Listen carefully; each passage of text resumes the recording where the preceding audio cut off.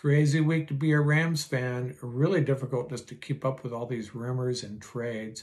Bobby Wagner gone, Leonard Floyd getting cut, Jalen Ramsey on the trading block, Allen Robinson given permission to look for a trade, Matthew Stafford, those rumors about him, they were pretty silly actually. But two things that have been overlooked, two moves that haven't gotten that much attention and could really hurt the Rams moving forward. Matt Gay not slapped with the franchise tag, he becomes an unrestricted free agent.